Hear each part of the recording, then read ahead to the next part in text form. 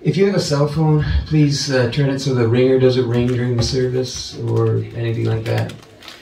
Um, last Sunday we had a couple of children up here um, in the front, and they were watching TikTok videos with the sound on during the service. And uh, and going back and looking at the video, I can see that I was just looking over with my eyes, pleading to the Father, who I know was a great guy. He's probably just happy that they were quiet, but. And I'd ask you also, as long as we're talking about stuff, um, when you're in the back during the church service, not the concerts. Concerts are concerts, that's entertainment. But when the church service is going on and you're in the back by the, the office or the back by the coffee area, uh, just talk in a way that, that doesn't actually bleed through the whole room over here. You know, sometimes people get carried away and they get laughing and having fun, and there's nothing wrong with that. But you, you get somebody pouring their heart out up here, not necessarily me, but you get somebody pouring their heart out up here, and, and maybe it's a message that somebody really needed to hear. And all they heard was the punchline to a dirty joke coming from the back of the church. And this doesn't happen in normal churches, but at the overflowing cup, anything can happen, and it usually does. Um, so uh, my wife has a my wife has a uh, thing that she says I don't know where she got it from, but it's uh, some kind of help is what helping's all about, and some kind of help is the kind you can do without, something like that. So uh, just be respectful of your neighbors. Um, now, one thing I would ask you to do, if you if you are on your cell phones, is uh, tune into the Overflowing Cups Facebook page, put the concert on, and then just turn the volume off. And that way, it shows more people watching. It improves the algorithm. It gets us out to to more places. Apparently, that's how that works. So, uh, Jesus loves you. It is uh, Resurrection Sunday. And most of you have probably attended a church service already this morning where you've heard a uh, brilliant message. Uh, so we don't have to worry about doing that. That's already been done. That's good. Um, Felicia, I would like to say, God bless you. Thank you for being here. And is there anything that you would like to just share with everyone that may or may not have happened this morning? I got baptized this morning. Got baptized this morning. That is wonderful. Praise God. Praise God. Just um, hang on.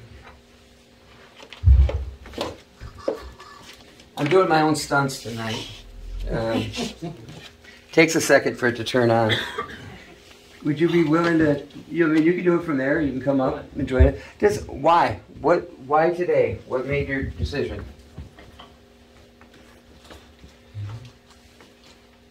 Put you on the spot. I didn't tell you I was going to do this. But I do this kind of stuff to my wife. I've always so- wanted to, I mean, get baptized. I mean, I did when I was young and I didn't remember it. Mhm. And God's been working really hard in my life in the last year between helping me heal with my, my anxiety, my divorce, my abandonment, my molestations. He's, he's been working through me a lot this year. Mhm. And something told me when I was standing there, let your fear go. Go up there and do it. Yeah. Stop letting other people, that was my problem, Mhm. stop you. Yeah. You're ready. You are ready. Praise And uh, I, I do not, as a rule, I don't say thus saith the Lord very often about anything. But the Lord says that it's not your anxiety Right. and not your all these other things. Right, we don't claim It's it. now His. And they're gone. They're washed with the blood. They've been cleansed away. They're just gone. They don't belong to you anymore, so don't take them. I used to have a pastor that would say, don't take offense because it doesn't belong to you. So congratulations. God bless you. That's wonderful. Can we give her a round of applause. So, you made a good choice. Thank you. I, you you're the guy with the microphone. There's been a lot of good stuff that's happened this week. Oh, I thought you were. Uh, no. Thought you had something to say. Me? Yeah. Mm -hmm. Town shy. He's He, felt, he felt how I feel, so he hurried up and grabbed the microphone. Oh. Thanks, thanks, Bob. I was. Uh, Thank you. I was baptized in the Footville Church of Christ on Easter Sunday, um, 1993. And uh, my father had said that he wanted to be baptized. He grew up around church. His father had been a, a lay minister, a Pentecostal lay minister. And uh, his, father had gotten saved right after Azusa Street uh, in 1907. There was a, a massive revival in Los Angeles uh, in an area of Azusa Street. And from there, people that were on fire for God went out across America. And as this was happening in America, it had already started in 1904 in Wales. Uh, in the United Kingdom and had gone out from there. And God was doing a new thing and just spreading it out beautifully, making people just on fire for God. And my grandfather was a, uh, a poor farm kid in Peshtigo, Wisconsin, born in 1890. And he and his brother went to a tent meeting from these people who had come from Azusa Street. And he got radically saved, filled with the Holy Ghost, and he followed God his whole life. And uh, that man was a legacy, and he had words of knowledge. And he had this is a guy who gave my brother a scrapbook. He loved my brother. My brother was nine years older than me, and my brother was named after him. My grandfather was Robert Levi Archambault. My father was Robert Leo Archambault. My brother was Robert Lee Archambault. Uh, he did not have any children before he, he well, he didn't have any sons before he passed. And I had always said that if I ever had a son someday, I would name him Robert L. Archambault, and he could pick whatever L name he wanted. But uh, that that didn't happen. Unless unless Micquette is gonna pull a, a Sarah on me and we're gonna just start popping out kids.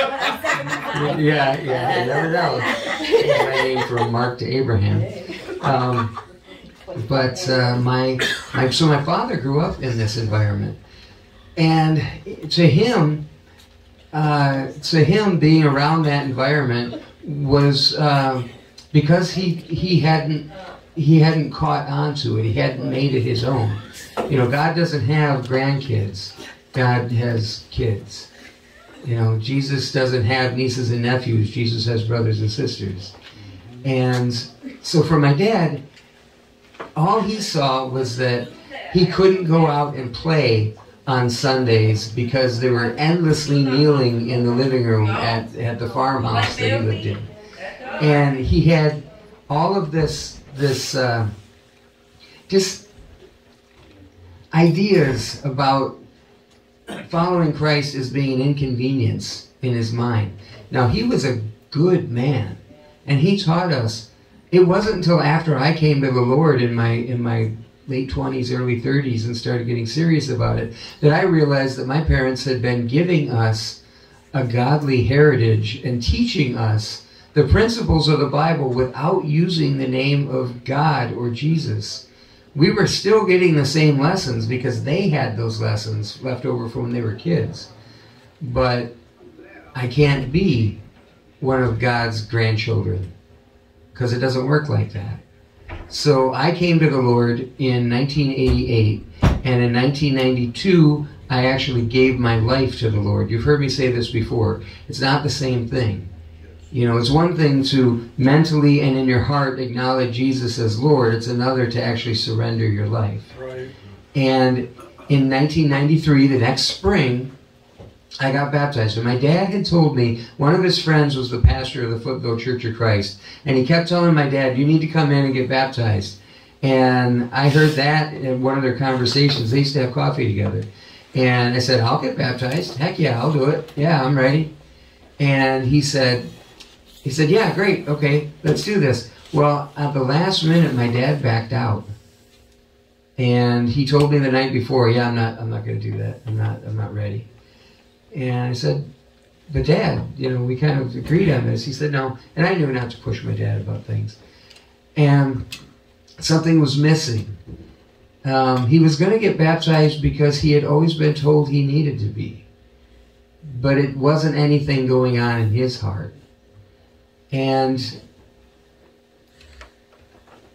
a couple years later, 1999 to be exact, in the beginning of the in the winter of beginning of the year, my dad was a voracious reader, and he had next to his bed he would always have a stack of books he was going to read, and then a stack of books he had read that my mom would then put away.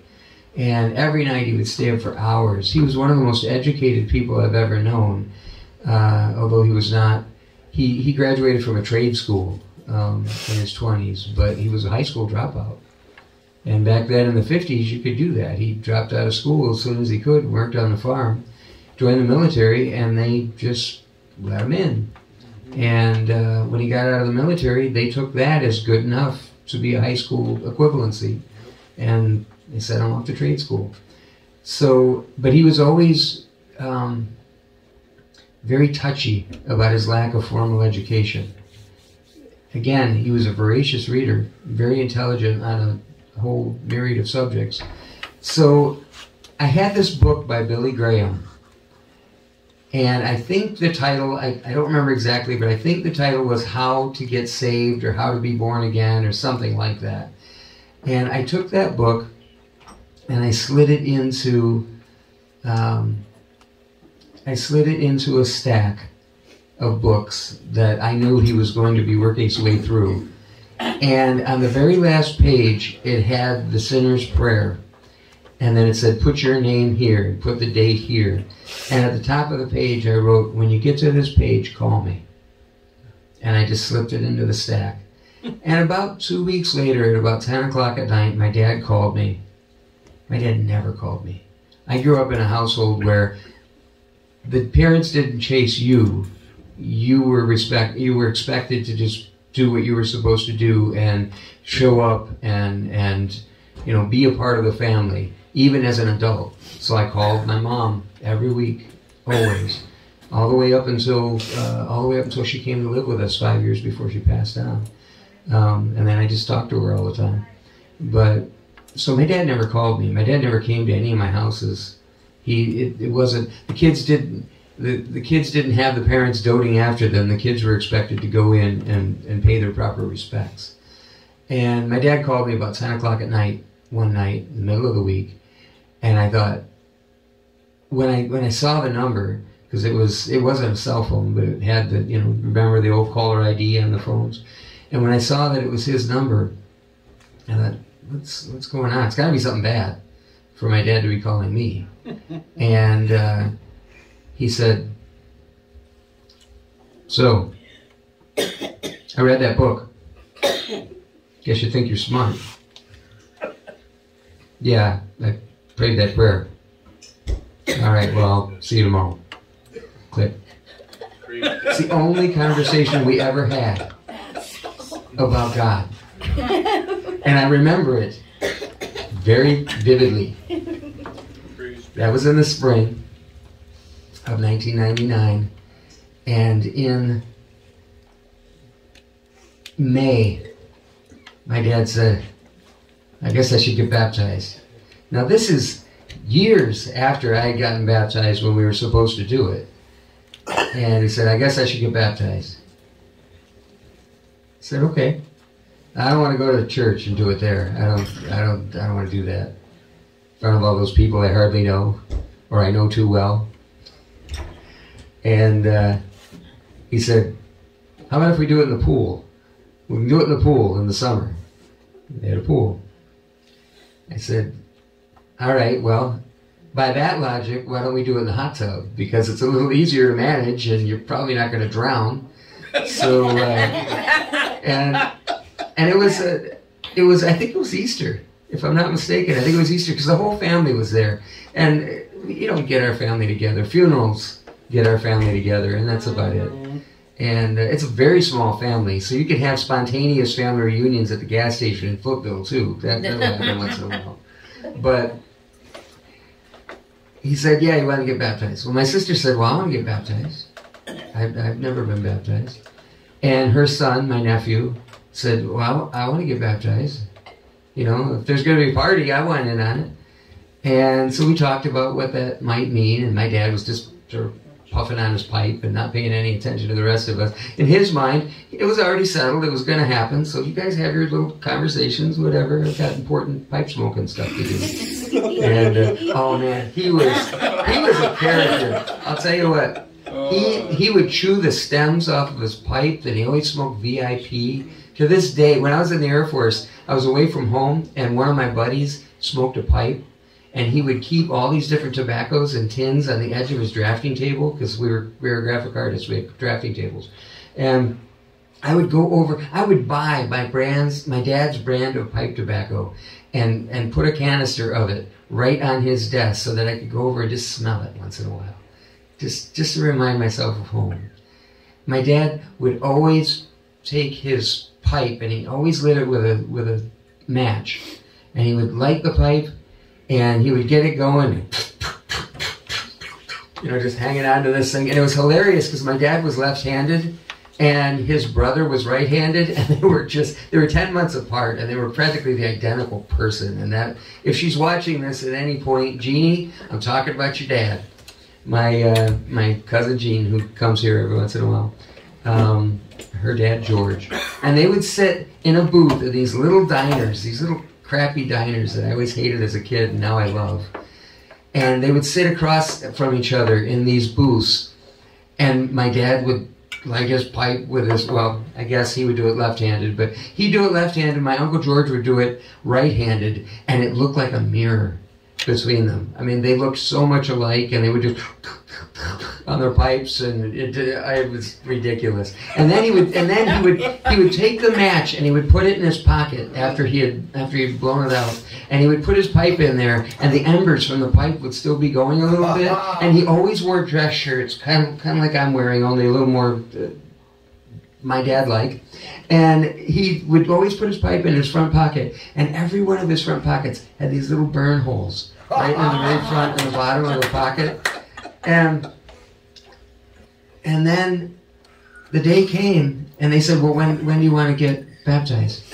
And so to get everybody together, to get all three of them together, we decided that the the day we celebrated my, my nephew's birthday is June 12th and my birthday is June 13th.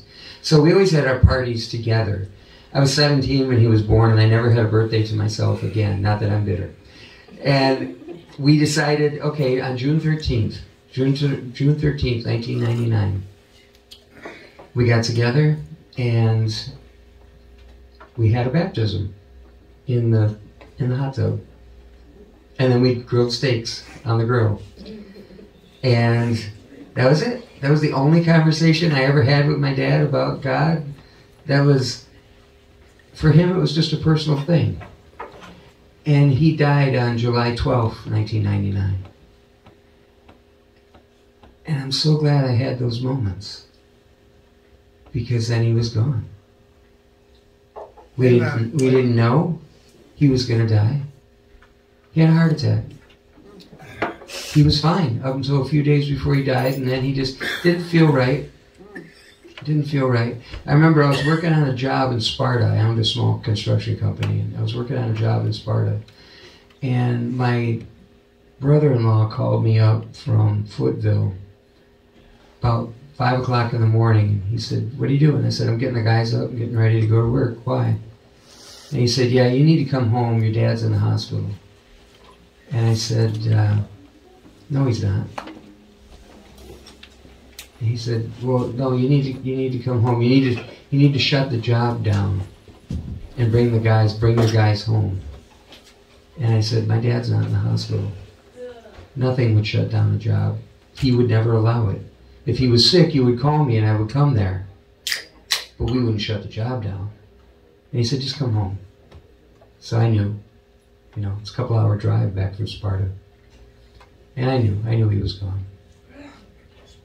He had had a heart attack in the morning and uh, was gone. He didn't suffer.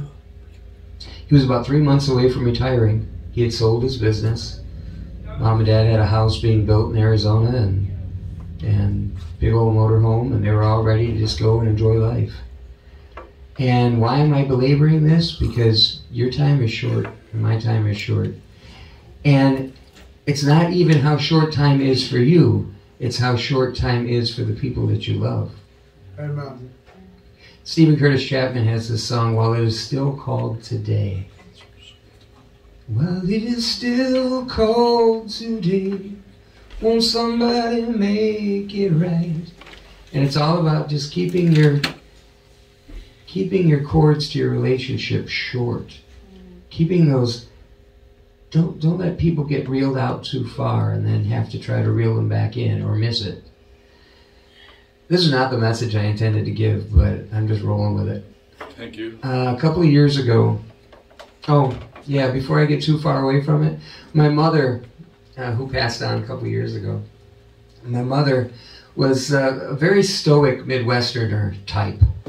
Uh, her parents were both born in Belgium, and she was raised on a farm just outside of Whitewater, and and uh, they were just stoic Midwesterners. She used to hate it when I'd say that, but I didn't care. I said it anyway. I said all kinds of outrageous stuff in front of my mom, but I wouldn't say it to her because I was respectful. But you know, I, uh, I, I one time said something about. Uh, I said something about my my relationship with my dad was so you know was really good. And my mom was in the room. I was preaching a sermon, and I said, "Yeah, my dad, my relationship with my dad was so good, and, and we were we were really tight, and I just adored him, and and it was really great all the way up until my mom killed him, and I just kept talking, and my mom went, oh. and I could tell she was half laughing and half mad, and I knew I was going to hear about it afterward. My mom didn't kill my dad, by the way. Um, I said that joke at her funeral. All my cousins left. Yeah, that's funny. Yeah, well, sorry. My my dad's my mom cleaned out my dad's closet about three weeks after he died. She cleaned up the house. You know, some people build a shrine to their loved ones, and the rooms that they inhabited are never touched again. Um, I have a relative who, when her grandfather died, her grandmother practically sealed off the house and she would go in once a week and she would dust everything and keep everything exactly the and when she died 30 years later the house was identical to the way it had been when he died. My mom took my dad's things that were personal to him that she wanted to keep. She put them in the top dresser drawer of his dresser. And otherwise she cleaned up the house. And she took all of his clothing and his belongings that were his that would serve no purpose. And she boxed them up and she sent them off to the Salvation Army. Because my father lived in her heart, not in his possessions. Amen. Amen. And she was good about that. One thing you can say about my mom, she was not a hoarder. She just believed in order, very much so. And but I, I say all that to say that she called me up one day and said, "Hey, come on over." I said, "Okay." She said, "I need your help with something." I said, "Yeah, okay, cool." So I drive over to Footville. I lived in Brodhead at the time, and I drive over to Footville, and my dad had this big walk-in closet, and she said, "I want you to go through, and I want you to take every shirt that you want." I know because he was like four inches shorter than I am, and and uh, you know, there's no way a pants or anything like that would fit. But she, but his shirts will fit you, so pick out any shirt you want. And I said, Mom, there's no point. point, and I, I can't wear any of these shirts. She said, No, they'll all fit you. I said, Mom, look at it. And I pulled out one shirt after another after another, and there was a little hole burned in this one, and a little hole burned in that one, a little hole burned in this one. They, every one of them had something, and I just picked them up and I went, ah, because it smelled like Dad. Amen. Amen. Didn't matter how many times she washed them, it still smelled like Dad. And uh, and then we moved on with life. You ever lose someone and you walk into the room to tell them something, only to suddenly realize they're not there? I can't tell you how many times in the last two years I've gotten to a certain point and I'd like grab my phone to call my mom because I wanted to tell her something. I talk to my mom all the time. And then she probably still hears me. And she probably still thinks most of my jokes aren't funny. Hmm. She told me one time, she said, You really frustrate me sometimes. And I said, Why, Mom? With a big smile. And uh, she said, Because you talk like you could change the world. Amen. And I said, I can. Amen. Amen. And then she that, that that was it. There was no she had nowhere to go with that. She didn't even she didn't even argue. You know why? Because I can. Yep. I can. Yep. So can you. Yep. Larry could change the world. Amen. Heck yes. Kevin could change the world. The world would be a better place. A more Larry like world. A more Kevin like world. A more Felicia like world. If you just change it and modify it and make it your own. And the good thing is, you're a child of the King. Jesus did everything necessary to hand you back dominion of the world, your world. Make it your world. Amen. Make it your world because by your very nature as being a son and an heir, by your very nature, with that Christ inside you, you will make it more Christ like by making it more Ben like, by making it more Margie like. You can't help it. You can't help yourself. God wouldn't let you anyway. We have a Father that loves creativity. We have a Father that adores every creative thing we do. We have a Father who walked with Adam in the cool of the day. He could have named every animal and every plant and every everything all by himself. He didn't need Adam to do that. But he chose to include Adam in it. He said, Come here, boy. What do you think that one's called? Well, that, that giraffe. All right. Silly name, but okay. What what what's that one? What are we gonna call that one? Gecko. Gecko. That's got a cool sound. Gecko sounds like an action thing. Gila monster. But we're not gonna pronounce the G. I don't know what those names are in Hebrew or whatever language they spoke in the garden, but he was playing on the rug in the living room with his boy. Isn't that cool? Yep. Isn't that cool? Very cool. And God does new things too. Yes, And He wants us to enjoy them yes. and love them and be thrilled with them and marvel with them. That walking in the cool of the day, that hanging out on the living room rug. My dad and I used to make model airplanes together. And my older brother, he made model cars with him. And it wasn't just about sniffing glue, although that has been a major impact on my life. They changed the formula. Don't try it. It's not, not like it used to. You didn't eat the paste, did you? Oh, no, no. But I, sometimes I drink the Kool-Aid. All right. That's different. What's your favorite flavor? The one that tastes like bitter almond, strangely enough. Never mind. Right. Way too far. When you were being baptized,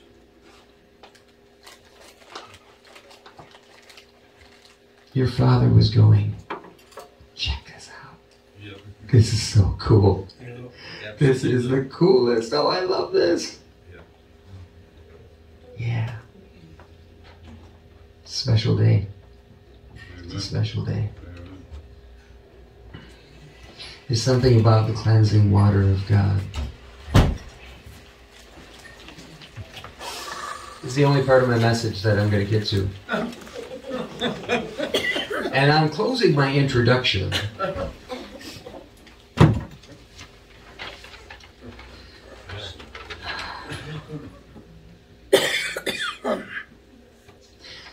Isaiah 43. God is talking through the prophet Isaiah to the people of Israel. He says, Forget the former things, don't dwell on the past. Jesus said, Anyone who puts his hand to the plow and looks behind him isn't fit for the kingdom. What he meant was, a plow has to be pushed. And if you're looking behind you, all of your work is going to be all messed up. A double minded man is unstable in all of his ways. Keep your eye on the prize. Jesus did. Jesus did everything that he went through during the Holy Week, culminating with hanging on a cross, suspended with earth no longer wanting him and heaven not yet receiving him, and experiencing everything, including the pain of aloneness, which is a killer for any of us.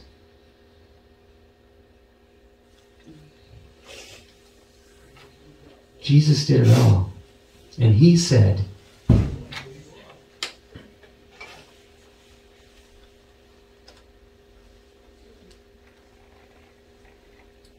He came to teach us about the kingdom.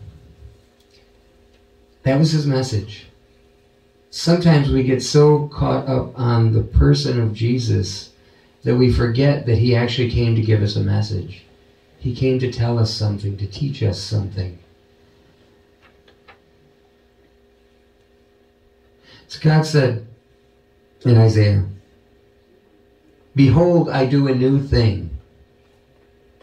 Now it springs up. Now it springs up. Do you not perceive it? I'm making a way in the wilderness and streams in the wasteland. The wild animals honor me, the jackals and the owls, because I provide water in the wilderness and streams in the wasteland. I will give drink to my people, my chosen, the people I formed for myself, that they may proclaim my praise. That water that he brought into the wasteland, that's for you to play in and to rejoice in. Proclaim his praise to the heavens. It's interesting that he mentions animals. They proclaim his praise because he provided the water in the wilderness, but he says very clearly that he actually gave it for his children. He gave it for you. And there's water imagery everywhere in the Bible. Everywhere. The Spirit, the cleansing, the power. I don't know why this is a baptism message. I don't know why it's not a resurrection mes- message. Except that in that act of obedience, you tell the world that you who identified with the world, you who are born into Adam, are sharing the death, burial, and resurrection of God. That you're taking part of that, that you're being a part of that, that you're claiming that as your own. And then you are free. Then you are cleansed, free. He who the Lord makes free is free indeed. Yeah, I had a whole message. Drop the mic later. Yeah, yeah. I'll do it. I'll do a mic drop later. It's in these things that we find God. We've all had our experiences that are tremendous. Seeing a child for the first time, getting married, getting baptized. All of these things are symbolic of things having to do with the kingdom of heaven. God is about family. God is about relationship. And then you take that and you allow God to raise you up as his own. And then he gives you responsibility and he gives you a task. But Jesus said, A new commandment I give to you love one another. love one another. It's not always easy. Not by a long shot. Sometimes people are mean to us. Sometimes we're mean to people. Sometimes your mind is so focused on whatever's going on that you just can't see the hurt that somebody else next to you is going through. Um, I'm going to give you a little advice from 1988, August, Great Falls, Montana. I was in the Air Force, and my friend, Ron Montgomery, who worked in the same shop that I did as a, as a graphic artist, we were in the security room because you could go and you could flip the switch saying that you were working on top secret documents and no one could come in. So that's where we went if we needed to talk in private. This is your government money going in action. Think about that. Also, think about the fact that we were children and we had the control of nuclear weapons. Because I was in Strategic Air Command, which is nuclear weapons. Yeah, that was a frightening thought. I was 23, 24, something like that. And I was one of the older guys in my shop. Now I look at them like, you're babies, you're babies, what are you doing? Go home you play video games. Um, Ron Montgomery said to me, out of a clear blue sky, we were just talking about something, and I had said the sinner's prayer the day before. I didn't know what it was, didn't know what it meant, had no clue, really. All I knew is that for the first time in my life, I knew that there was a God. And I knew that it somehow had something to do with Jesus. I wasn't exactly sure what, but it made me cry every time I thought about it. It just pierced me. My soul, my heart knew. But my brain didn't yet Right. have a clue. Yep. And that's okay. Sometimes that's where you start. You start by saying something and you don't know why you believe it, but you believe it, and then God just grows from there. Like, okay, we can deal with this. Got you now. Ha ha ha. Ron, Ron looked at me and he said, People are going to hurt you in church. Other believers will sometimes cause you pain. You will sometimes hurt people, and you will sometimes cause them pain. But your relationship is with God. Try to maintain good relationships with the people around you, but understand that you will blow it. And do not lose hope when you blow it. And do not lose hope when people blow it and you're the victim of it. Because God's an overcomer. And now you, because you are a part of that, you're an overcomer. Don't let it pull you under and take you down several years ago, 20 years ago, I had some church situations come up that I got a little beat up in church. And I wasn't real thrilled about stepping back into that environment. And so I was I was already moving to Arizona. So it wasn't like anybody was going to notice that I wasn't in church that next Sunday. And I just sort of I just I never gave up on God. But I did the whole very mature and handsome adult version of going pick it up, babe. Aw, you're mean, meanie head.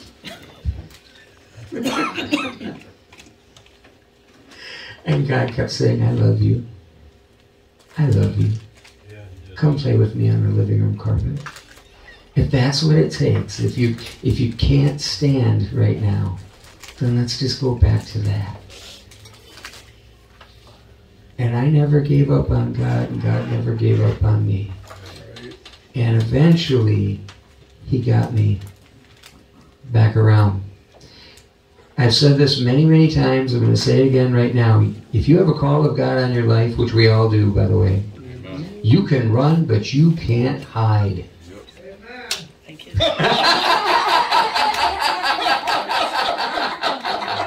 Even the guys hiding. It doesn't matter where you go. I can. You can be locked up in a cell. You can be living under a bridge. You can be hanging out in a corporate office, flying in a jet. It does not matter. If you are trying, if God's saying go to Nineveh and you're taking a fast boat to Tarshish, He'll send a whale to swallow your butt and puke it up on the shore. And you're probably not going to look good when it's oh, done, but you're going to do it. Not because He hates you, not because He's forcing you. He's not a monster. But he knows the plans he has for you, plans for your good.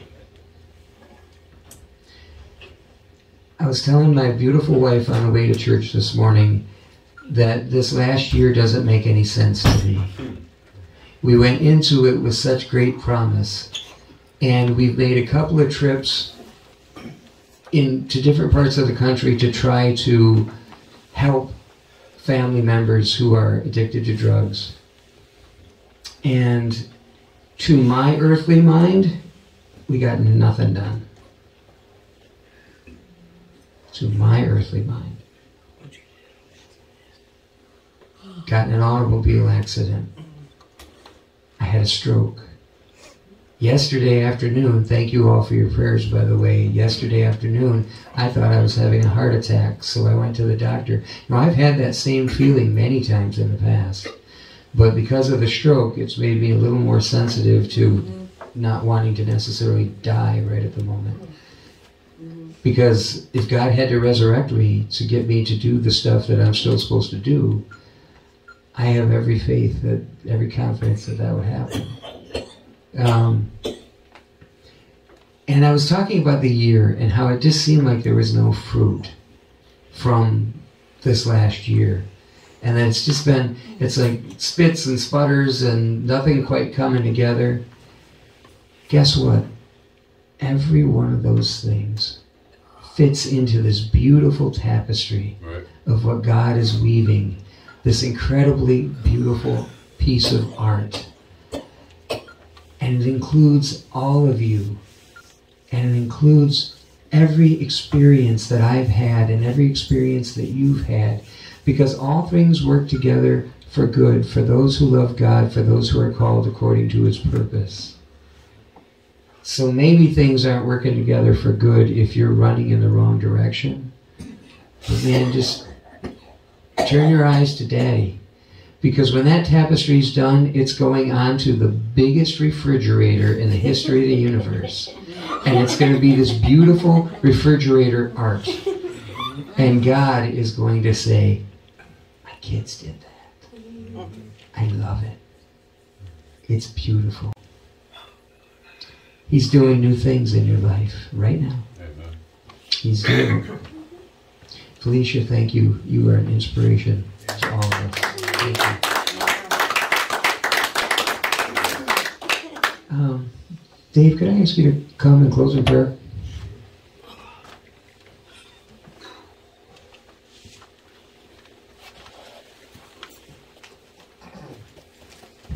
I think they're all.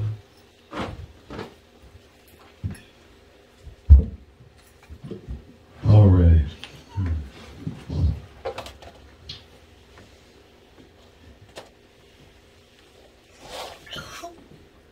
I think it was Lance Wallnau. Anybody know Lance? Yeah.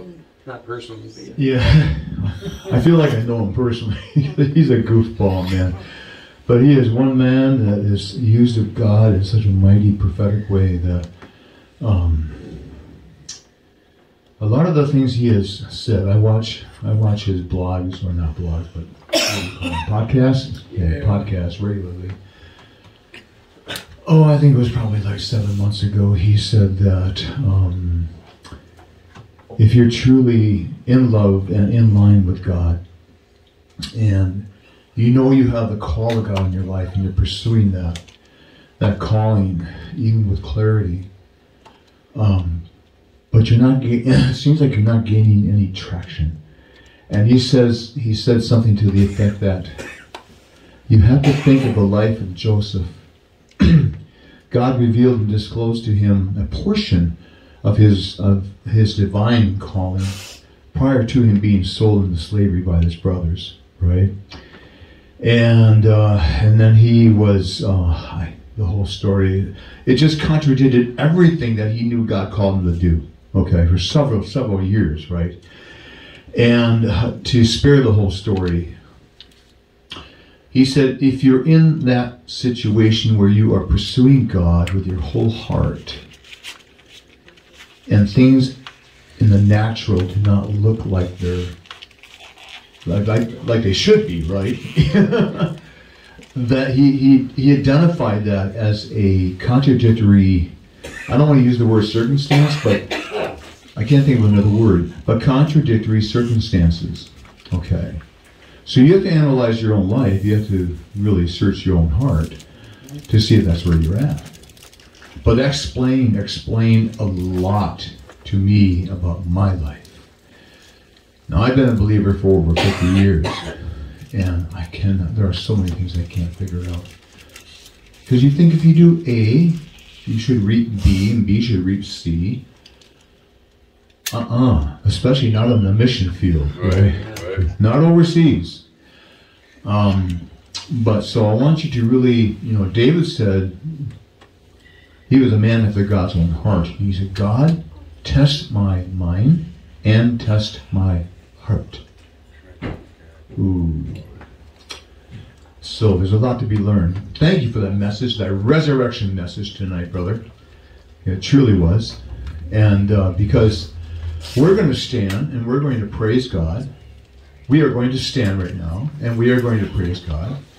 Everybody, even towards the back, we are going to stand and praise God.